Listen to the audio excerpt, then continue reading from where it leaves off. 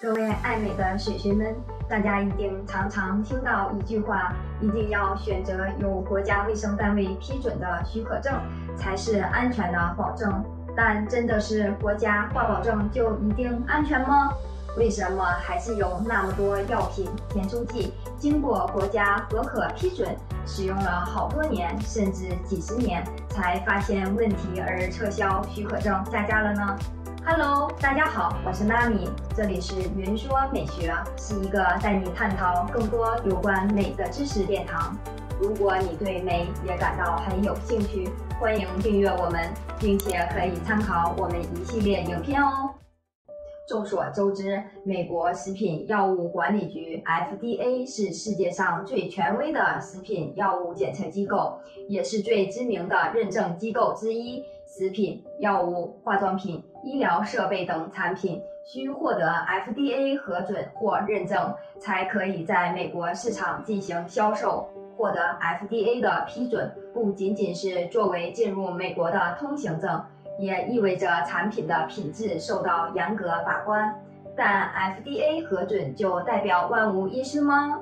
举例来说，上市近四十年的经典胃药雷尼替丁，在前两年，也就是二零二零年，就发现说会因为存放条件的不同，导致成分中的致癌物含量超标，于是随之下架了。大家原本都吃的好开心，吃了好几年，后期才发现有问题，甚至是下架。而这也不是 FDA 批准后又下架的首例了。减肥药诺美婷，减重这件事想必是很多人一生的课题。有些人会透过吃减肥药来达到目标，但是吃减肥药这件事是一个健康的减重方法吗？减肥药诺美婷，一九九七年获得 FDA 批准，随即风行全球七十余国。前几年在台湾的声望如日中天，曾经一个月卖出七千盒，还一度成为减肥市场中的明星药。可是万万没想到，许多消费者在服用诺美婷后出现身体不适的状况，更有研究报告指出，服用诺美婷患者出现心脏病发。中风等疾病的比例比未服用的对照组明显增加许多。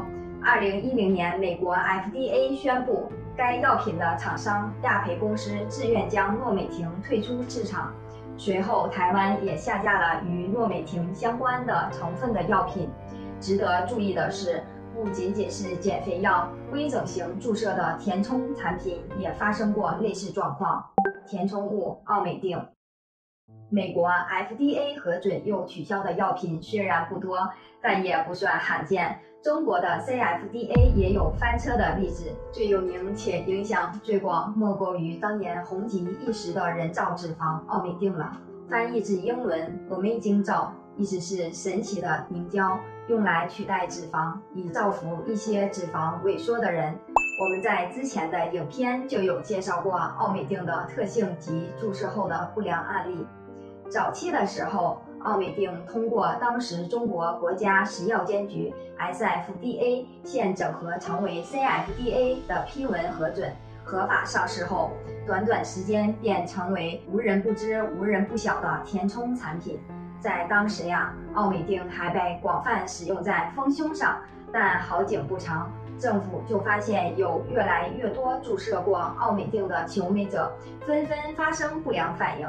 除此之外，临床研究还指出，奥美定会引起各种并发症，包括乳腺结节肿块、局部疼痛肿胀等问题。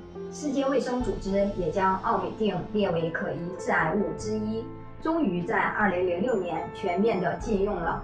那么那些曾经注射过奥美定的人，后来怎么了呢？有的伤口感染反复溃烂，有的移位变形。我想，当时注射于人体的不只有奥美定而已，还有痛苦的开端吧。求助医美，除了慎选填充物的种类之外，填充物的品牌也需格外留意。填充物 Elevis 玻尿酸，Elevis 玻尿酸于2006年获 FDA 批准上市，终于讲到了一个在21世纪才上市的产品了。前面介绍的都是二十世纪就开始的呢。没事，不仅世纪不同之外，它目前也还没遭到下架。值得注意的是。要和大家分享注射这款玻尿酸中三个辣眼睛的案例。根据2010年5月范戴克医师等人在《临床与美容皮肤医学杂志》发表的一篇注射玻尿酸产生严重的反应，第一位求美者在鼻唇沟和末纹注射32天后所出现的状况如图所示。我们可以看到中下面部有结节发红的问题。而第二位求美者也是注射玻尿酸在鼻唇沟和木偶纹，总共有三张照片，分别是注射前后的变化以及最后使用玻尿酸降解酶治疗。可以明显看到，最后用降解酶来救红斑才消退呀。最后一个案例虽然是低像素的照片，但也不难看出此位求美者嘴巴肿起来的问题吧。你要知道的是，三位求美者以往注射他牌的玻尿酸都未曾发生过这样的不良反应呢。Elevens 大家可能会比较陌生，那么瑞斯朗和乔雅登打过玻尿酸的人一定听过吧？前者是全球第一个获得美国 FDA 认证及最早进入台湾市场的玻尿酸，后者是有着全球市场份额第一的玻尿酸头衔。这两款知名的玻尿酸品牌，也有一些案例研究值得我们去留意。填充物瑞斯朗玻尿酸，根据吉斯兰佐尼医师等人在2006年4月《英国皮肤病学杂志》发布一篇有关注射瑞斯朗玻尿酸引起皮肤肉芽肿反应的案例报告。一位41岁求美者使用瑞斯朗玻尿酸来治疗面部皱纹。注射后的效果令求美者及医生都很满意，但不幸的是，五周后注射过的部位却出现红斑、结节等问题。最后，医师使用抗生素和类固醇进行局部治疗，三个月后，所有的结节才完全消失。填充物：乔尔登玻尿酸。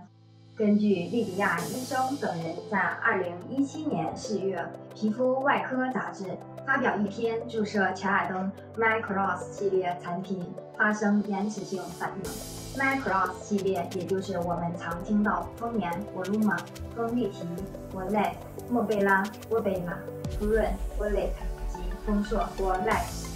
研究者就分别对博鲁玛和博莱特进行人体皮肤斑贴实验。